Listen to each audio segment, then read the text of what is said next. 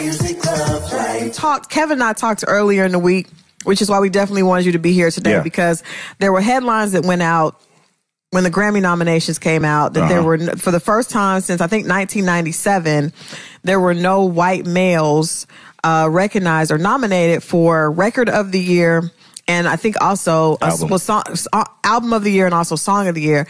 Um, and so there is a white person. I didn't even realize at first because you know you see the headlines and it seems so provocative. I thought there was no white person, period, but there is a white woman, Lorde, mm-hmm. who is Lorde, who is who actually is. I think what is she? What it, I think she's like from That's New the, Brit- the Zealand. British chick. That's Oh, the- New yeah, she's from New mm. Zealand, Ah. but That's white.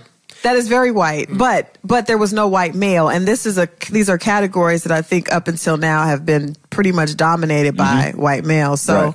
what do you think? Do you think that this is a change? This is a this is I guess cognizant. People are cognizant.